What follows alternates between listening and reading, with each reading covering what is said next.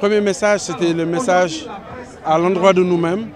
Il fallait qu'on se regarde les yeux dans les yeux et qu'on se convainc encore une fois que nous autres journalistes, nous autres membres des médias, que nous savons nous mobiliser. C'était ça le premier message. C'était symbolique, mais c'était en réalité le premier message. Parce qu'aujourd'hui, je pense que partout dans le monde, on célèbre la journée internationale de la liberté de presse. Au Sénégal, cela fait 4 ans ou 5 ans que les journalistes ne s'étaient pas organisés au cours d'une manifestation publique. D'accord? Le deuxième message maintenant, au-delà de ce symbole, c'était de façon générale de revendiquer notre liberté avec un grand L.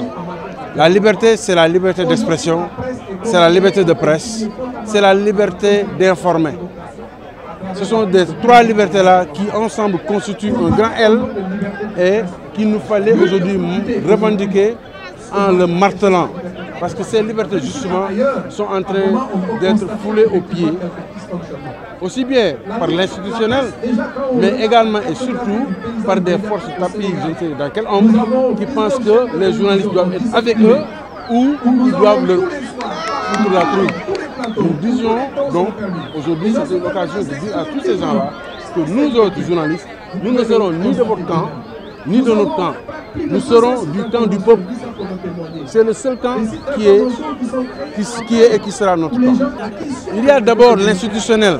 Il y a d'abord des revendications d'ordre institutionnel. Lorsque nous demandons à ce que la ARCA remplace le CNRA, ce n'est pas parce que la tête du directeur de la, du président, ce n'est pas parce que la, ce n'est pas parce que la tête du président du CNRA ne nous plaît pas. Ce n'est pas ça. C'est parce que nous pensons qu'il nous faut une nouvelle régulation. Et cette nouvelle régulation ne peut être le fait de l'actuel CNRA, ça ne peut être que le fait de la ARCA. Lorsque nous demandons qu'on mette en place une loi d'accès universel à l'information. C'est pour permettre justement aux journalistes de ne plus se cantonner à faire des comptes rendus ou de couvrir des manifestations. Mais c'est pour permettre justement aux journalistes de pouvoir faire de l'investigation et de servir des informations de qualité au, public. Mais également, lorsque nous demandons que la convention collective soit une réalité, ça fait 4 ans que cette convention a été signée. Et des gens qui l'ont dûment signée, y compris des services de l'État du Sénégal refusent de l'appliquer.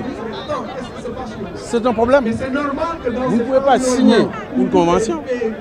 Cette convention a fait l'objet d'un avis d'extension, a fait l'objet d'un arrêté d'extension. Et aujourd'hui, vous dites Ah non, non, non, je ne peux pas le signer pour X ou Y.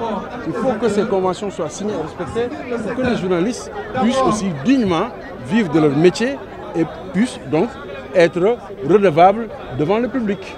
Parce que si vous ne, si vous ne vivez pas régulièrement de votre métier, il, nous sera difficile de vous demander d'être redevable euh, par rapport au public. Donc voilà les, les revendications de façon générale.